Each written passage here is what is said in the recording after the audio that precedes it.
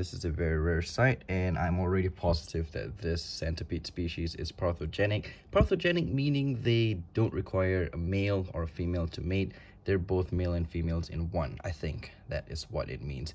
Okay, so anyways, this is quite a rare sight because usually every time when I notice, when I realize or come across my centipede have eggs, she's already like cuddling it in the middle of her legs, in the middle of the body right there. But yeah, today she is, I caught her in the process of actually laying her eggs. Look at that. That is cool.